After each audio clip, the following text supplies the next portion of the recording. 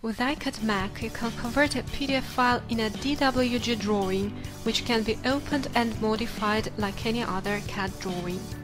For instance, if we have drawings from datasheets or catalogs in the PDF format and we want to use and modify these objects, we can convert these PDF files in DWG in one simple and easy step. The original layer configuration, line weights, line types and colors will be maintained.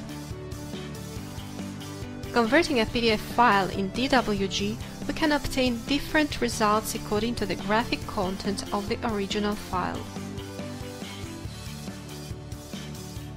PDF files made in vector graphics programs like Adobe, Illustrator, CorelDRAW, AutoCAD or progeCAD can be converted in a DWG file to use and modify vectors with the CAD application.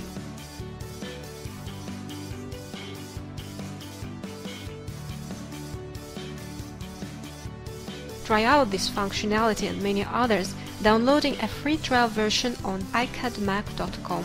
You can use the software for 30 days with no limitation and no purchase obligation.